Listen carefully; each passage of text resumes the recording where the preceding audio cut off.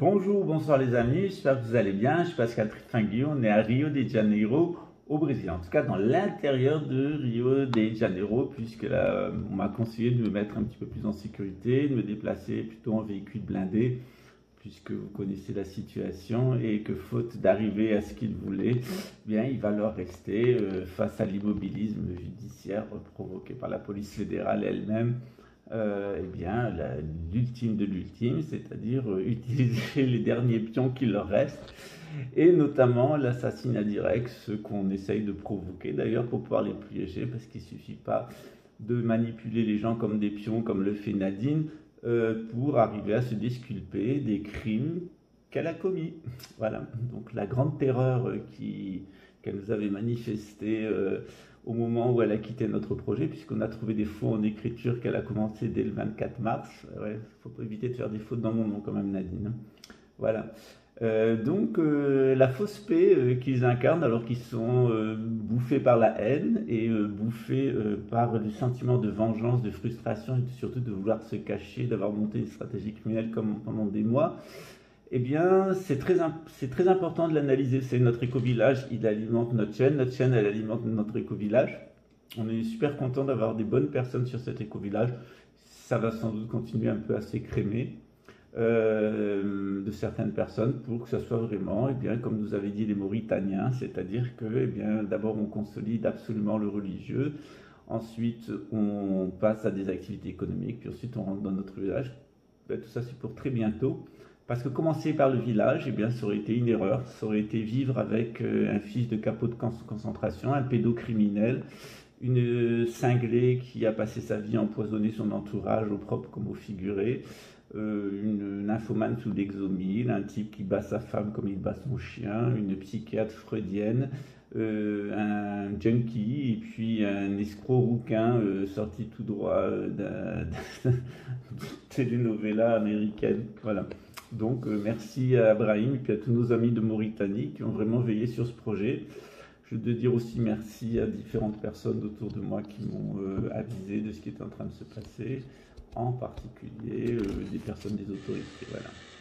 Donc c'est très intéressant de cette, expérience parce qu'elle nous a permis de travailler sur les émotions perturbatrices. comme je vous l'ai dit, le, le gros de l'activité sentimentale humaine, elle se fait au niveau de l'élémentaire c'est-à-dire elle se fait euh, avant tout par avoir de l'équanimité. C'est-à-dire ni on peut avoir des émotions excessives, ni on peut avoir de la froideur émotionnelle. Parce que quand on a des émotions excessives et quand on a euh, de la froideur, je ferme la porte, eh bien, euh, c'est qu'avant tout, on manque de clarté. On manque de clarté envers soi-même, on manque de clarté envers les autres, on manque aussi de compassion, et puis on manque de confiance euh, en la vie et en soi. Et euh, on a une pensée dualiste. C'est-à-dire que diaboliser, idéaliser ou diaboliser une personne, c'est en faire du bien ou du mal, c'est toujours un tort, c'est ce qu'on appelle la distorsion élémentale espace. Après, euh, dans la vie, il faut avoir confiance, il faut avoir confiance en Dieu, il faut avoir confiance dans notre propre bouddhéité. Et il faut certainement pas essayer d'imposer sa volonté dans un sens ni dans l'autre. C'est-à-dire, c'est quand une personne essaie d'imposer sa volonté, c'est une grande preuve de bêtise d'abord, puis c'est une grande, preuve, une grande preuve de manque de confiance en soi. Une personne qui a confiance en elle, elle a peu besoin d'imposer sa volonté aux autres. Elle fait ce qu'elle a à faire et puis les choses se passent comme elles doivent se passer. La compassion, c'est aussi important. C'est vraiment une chose très importante parce que c'est la compassion qui nous fait ressentir les, euh, les, problèmes des autres. Salut, chérie. qui me fait euh, ressentir. attaque.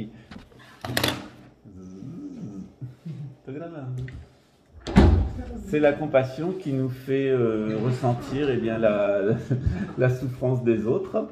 Et à défaut de, compassion, eh on va entretenir toutes nos mémoires.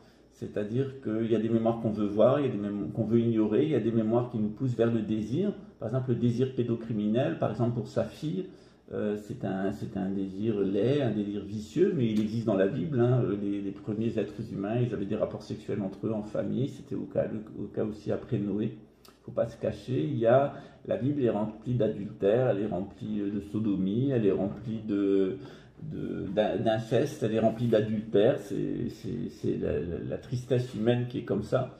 Euh, et euh, elle est remplie aussi de manque de clarté. C'est-à-dire que euh, dans la vie, on peut aussi décider d'être clair. C'est-à-dire, on, dit clairement sa position et on voit clairement ce que font les autres. même si les gens nous mentent, même si les gens montrent des stratégies, eh bien on, le voit clairement et soi-même on reste clair par rapport à ce qu'on est, par rapport à ses désirs. Et puis ça évite, ça permet surtout de rester équanime, c'est-à-dire ni être dans la froideur émotionnelle, ni euh, d'être dans l'excès euh, émotionnel. Alors dans le bouddhisme, on a une technique par rapport aux émotions euh, qu'on enseigne dans notre temple qui est très intéressante. c'est une technique qui est basée sur notre sensation intérieure, c'est-à-dire qu'on se concentre sur notre Bouddha intérieur, et puis la personne qui est en face de nous, eh bien, on va ressentir ces distorsions élémentales, c'est-à-dire que si la personne nous ment, on le sent. Si la personne joue la comédie, soit la froideur émotionnelle, soit l'excès de sentiments avec des mièvreries, on le sent. Si la personne n'est pas claire, on le sent. Si la personne manque de compassion et qu'elle est complètement orientée sur ses mémoires, et si la personne veut imposer sa volonté, si elle est complètement dans la pensée duel, on le sent. Tout simplement parce que quand on a purifié ces éléments à l'intérieur de soi, eh bien on peut ressentir ces distorsions chez autrui. C'est le principe de base de la compassion. Euh, cette, compassion, en réalité, qui est basée sur l'équanimité d'un côté et sur la sagesse omniprésente de l'autre, et qui nous fait avoir confiance dans les processus parce qu'on sait, quoi qu'il en soit, qu'on va gagner, tous les processus parce qu'on reste en connexion avec la vérité.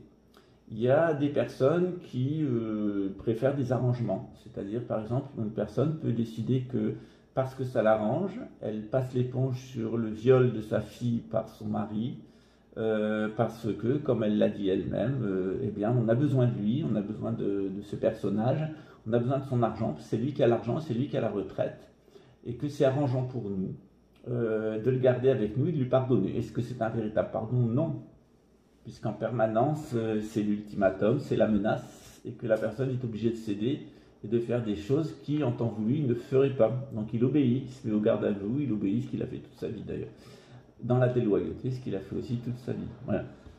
Alors, oui, parce que vous savez, quand vous euh, obéissez aux ordres, euh, eh bien, ça génère des crises. Euh, on le voit par exemple dans la psychotronique, les gens qui sont sous psychotronie, de temps en temps, ils font des crises classiques. Les gens dans l'armée qui obéissent aux ordres toute la journée ou dans la police, de temps en temps, ils ont des crises.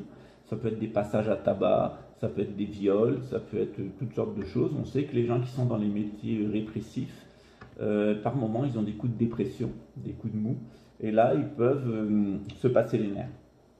Ils peuvent se passer les nerfs sur leurs enfants, ils peuvent se passer les nerfs sur euh, la partie adverse, ils peuvent se passer les nerfs sur les délinquants. On voit ça tous les jours. C'est normal, c'est un processus, je ne dis pas que c'est bien, mais c'est un processus psychologique. Dans le bouddhisme, on a tous les outils pour arriver à d'abord à diagnostiquer la situation, c'est-à-dire qu'on sait, euh, je ne sais pas vous voyez mon chéri, on sait euh, quand euh, la personne vous ment, enfin c'est moi qui veux qu'il reste à nous. On sait quand la personne vous ment, et puis on sait aussi quand la personne est dans la pensée duel, quand la personne manque de confiance en vous, quand la personne n'a aucune compassion envers vous, lorsque la personne n'est pas claire et lorsque la personne n'est pas équanime. L'absence d'émotion, le mensonge, euh, l'enfermement dans un certain formalisme et des mémoires, euh, de vouloir conserver en l'état les situations de pouvoir, le manque de, confiance en soi, la pensée du lys, c'est quelque chose qui est très facile à diagnostiquer chez autrui. Alors le fait est, c'est que moi je suis un vieux renard, hein, je suis un vieux futé euh, du bouddhisme, donc j'adore qu'on prenne pour un imbécile et j'adore que les gens qui sont en face de moi euh, se croient extrêmement forts et j'adore me montrer extrêmement faible. Pourquoi? Parce que ça me permet de voir euh, leur poids faible et ça me permet de les voir développer leur batterie et me tirer dessus. Et j'ai pas peur qu'on me tire dessus. Je me suis fait agresser euh, deux fois cet été, au mois de juin puis fin juillet, avec deux tentatives d'assassinat. Les deux personnes ont retourné la situation à la demande de Nadine pour faire croire eh bien, que c'était des manipulations, que c'était pas vrai, etc. Mais sauf que euh, les stratégies qui sont montées euh, grossièrement comme des stratégies de guerre et qui tombent dans l'excès, elles se retournent toujours contre ceux qui les commettent. Et euh, c'est pour ça que l'armée retourne le bas du panier, parce que pour travailler, travailler pour l'oligarchie marchande, il faut être un débile, il ne faut pas avoir de conscience politique, il faut être dans le besoin.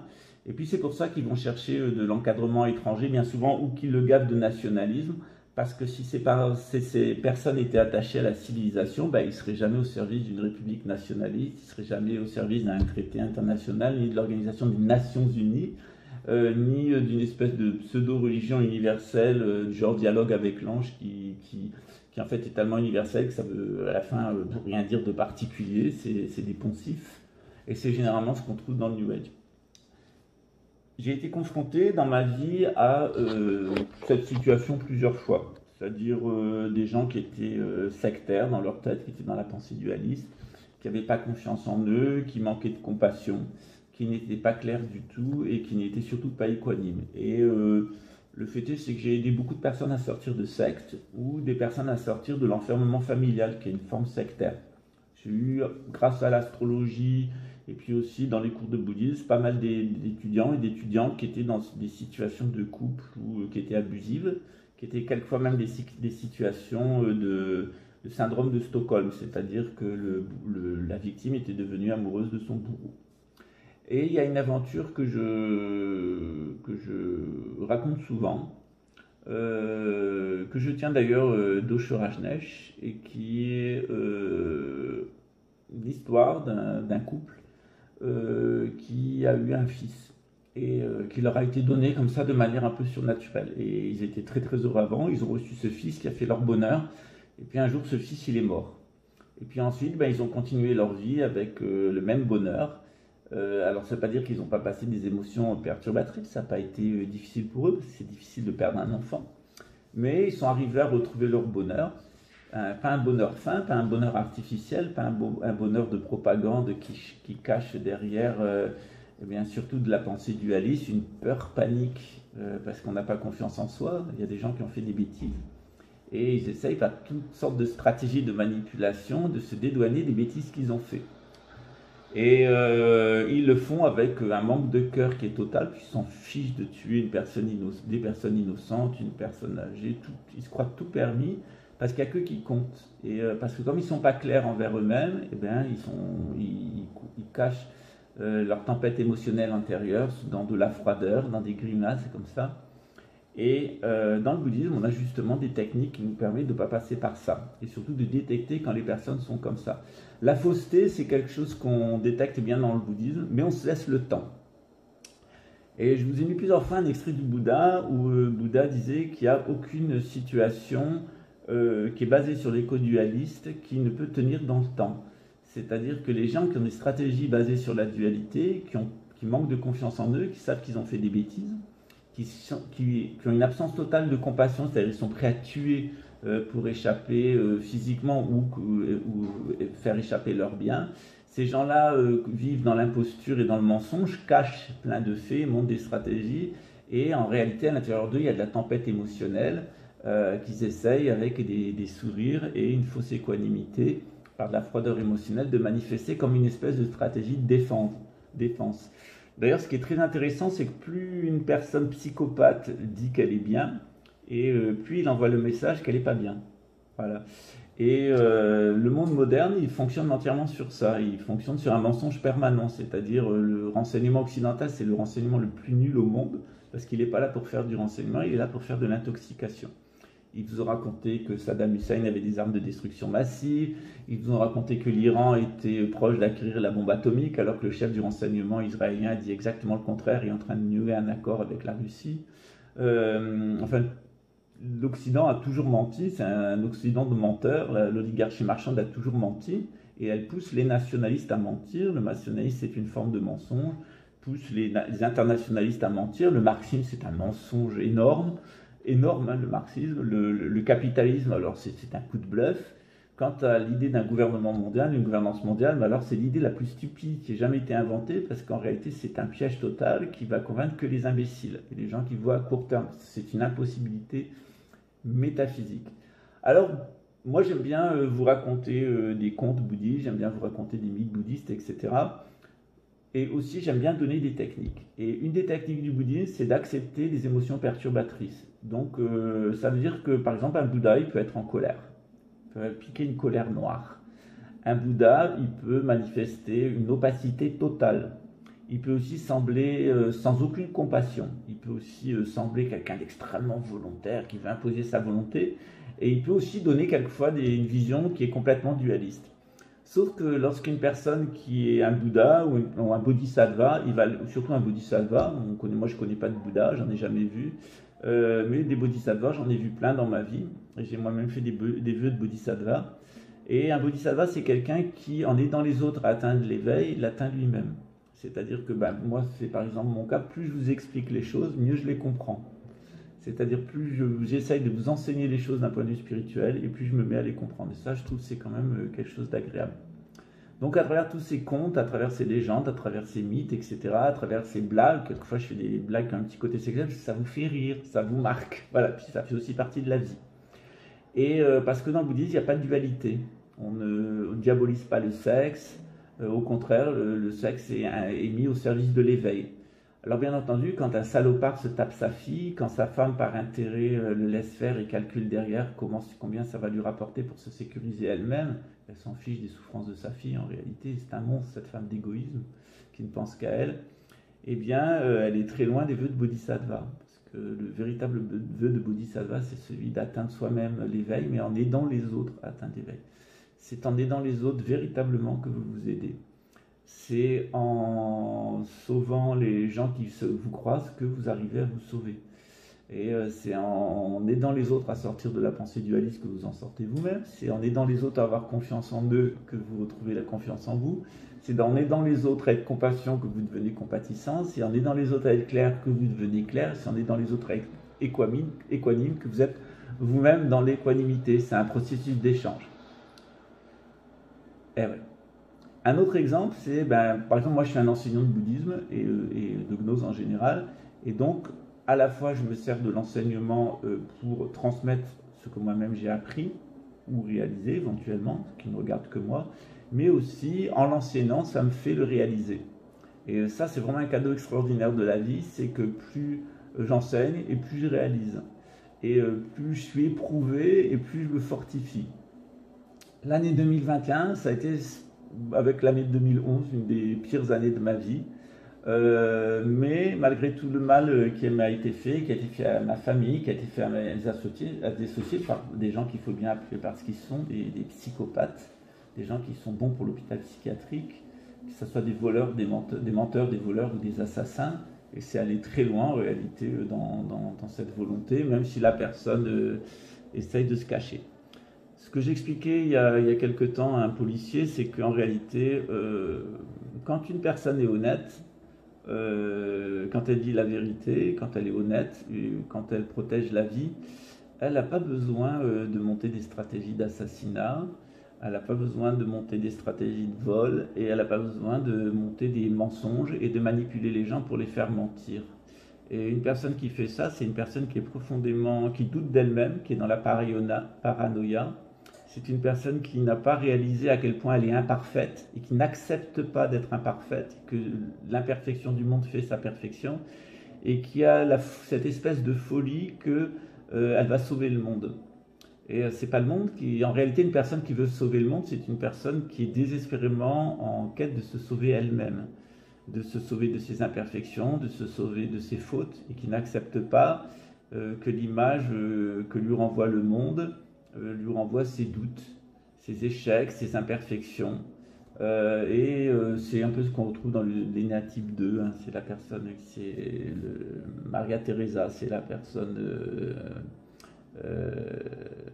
qui veut aider plus que tout.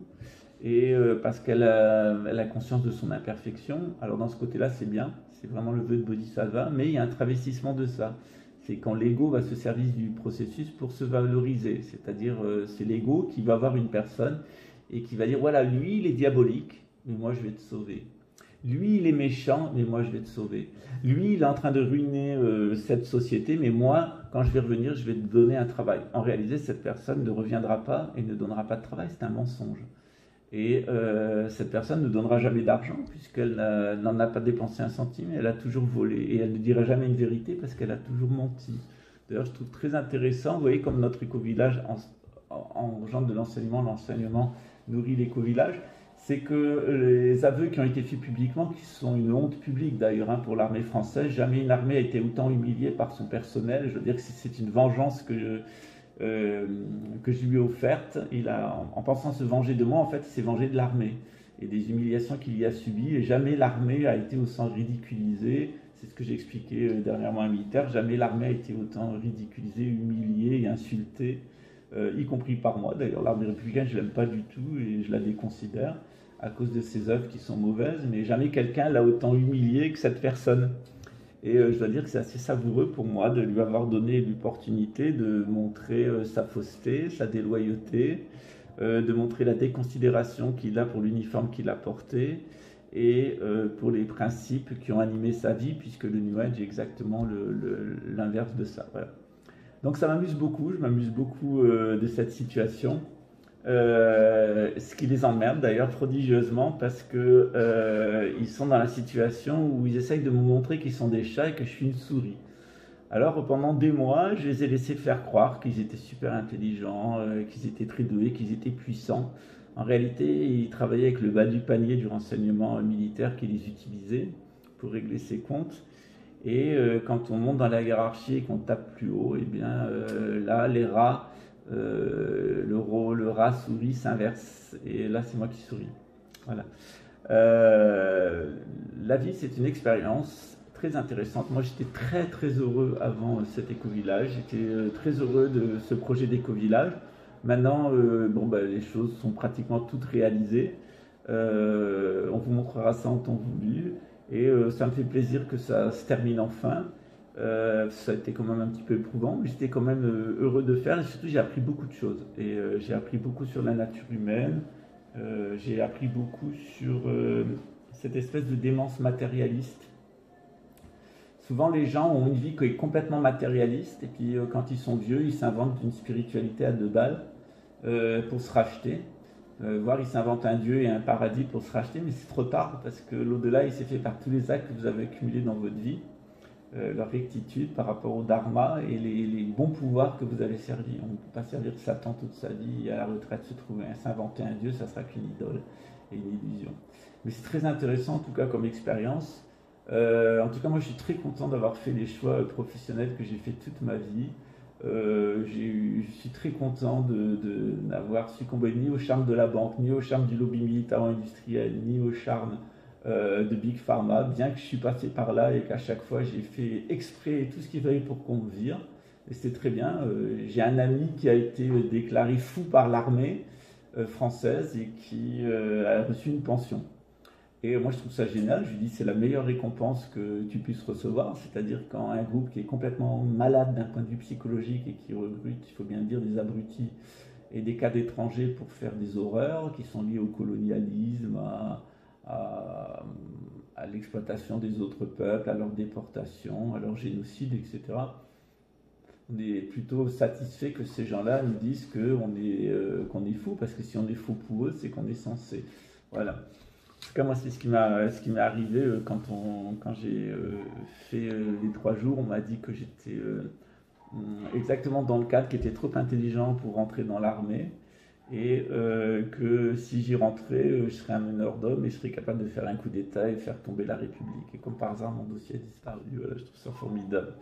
Euh, comme le hasard fait bien les choses, ou comme il y a des gens qui peuvent bien faire les choses, même quand ils pensent me faire du mal, ils me font du bien. Voilà. En tout cas, par rapport aux émotions, dans le bouddhisme, on accepte les émotions perturbatrices. Et moi, j'adore les émotions perturbatrices parce que la plupart des personnes qui sont en face de moi, elles attendent de moi que je sois équanime et moi, je vais agir comme un miroir, c'est-à-dire que je vais leur envoyer eh bien, à la fois euh, euh, des émotions perturbatrices les plus folles possibles et de la froideur la plus folle possible. Et pour les renvoyer en fait à leur propre équanimité. Alors quand mes élèves sont sincères, eh bien, ils trouvent vraiment l'équanimité par la compassion. Et quand ils ne sont pas sincères, qu'ils sont des menteurs, des voleurs, des assassins et surtout des hypocrites, eh bien, ils la falsifient.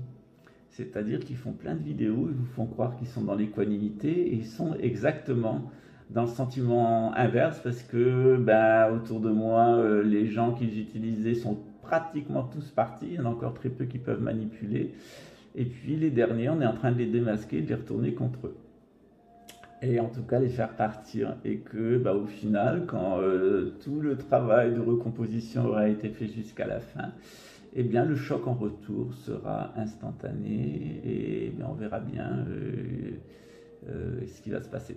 Voilà, en tout cas, pour moi, c'est toujours très intéressant. J'ai vécu ça au Luxembourg, puisque j'étais face à un policier qui était un menteur. qui était un voleur et qui en plus était un assassin puisqu'il avait véritablement assassiné des gens à la prison et que par mes livres et par mon action, j'ai permis à la police, à la direction générale de la police, d'identifier des dysfonctionnements dans ces. Sur ce, je vous laisse et je vous dis bye bye, à très bientôt.